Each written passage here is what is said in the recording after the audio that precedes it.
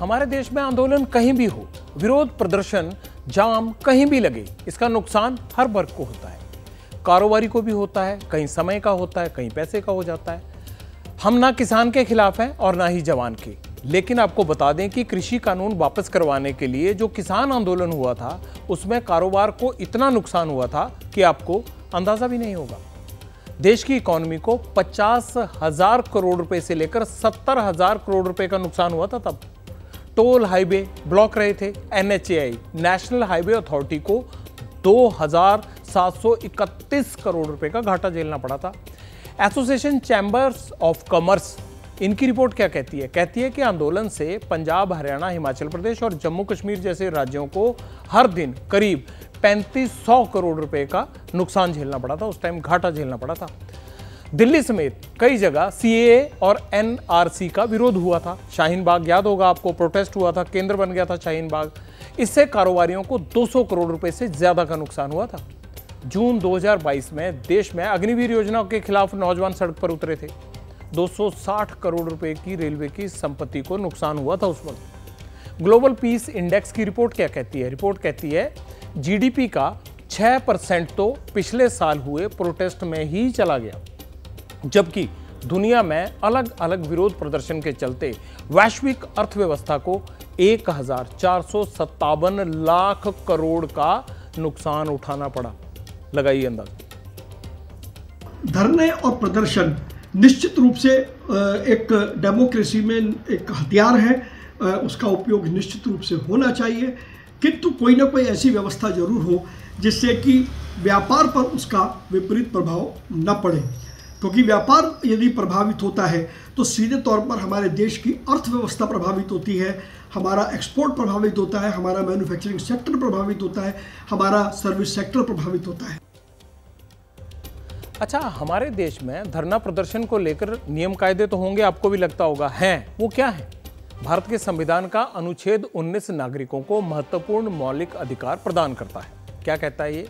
अनुच्छेद 19 under bracket एक ए। उसके तहत है कि भाषण और अभिव्यक्ति की स्वतंत्रता का अधिकार है। अनुच्छेद 19 एक अंडर ब्रैकेट बी, ये क्या कहता है कि हथियार के बिना शांतिपूर्वक इकट्ठा होने का अधिकार है आपको। लेकिन सार्वजनिक संपत्ति को नुकसान और यातायात को बाधित करने की इजाज़त नहीं है। सुप्रीम कोर्ट भी कह चुका है कि विरोध के अधिकार का सम्मान और प्रोत्साहन होना चाहिए।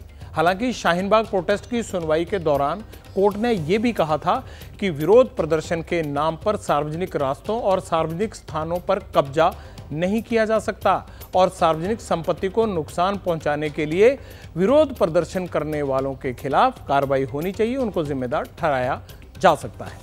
अगर बात राष्ट्रीय सुरक्षा की हो, देश की संप्रभुता और अखंडता की रक्षा की हो तो सरकार धरना प्रदर्शन रुकवा भी सकती है।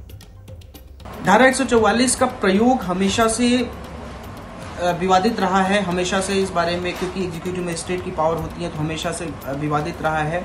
Honourable supreme court time time पर गाइडलाइन इशू करता रहा है टाइम टाइम पे ये बताता रहा है कि जब आप धारा 144 लगाते हैं तो जिस उद्देश्य से आपने धारा 144 लगाया है, उस उद्देश्य की आपूर्ति होनी चाहिए, और किसी के राइट जो उनका फंडामेंटल राइट है, उसका इन्फ्रिंज नहीं होना चाहिए।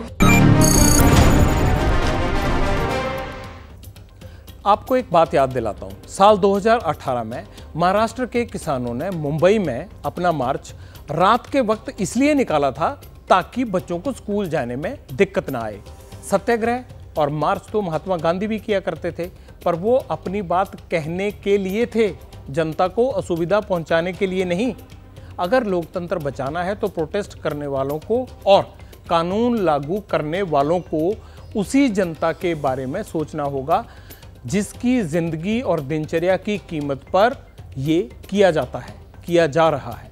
प्रोटेस्ट का एक प्रोटोकॉल होता है जिसकी तामील लाजमी होनी चाहिए। खबरों की तह तक जाना और सच खोज के लाना, ताकि आप रहे आगे। इसी सोच के साथ हम निकलते हैं खबरों की जमीनी हकीकत जानने।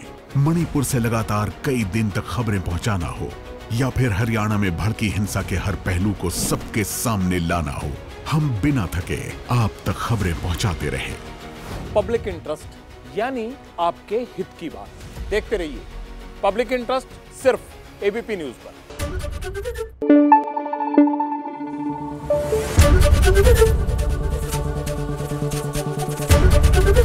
एबीपी न्यूज़ आपको रखे आगे।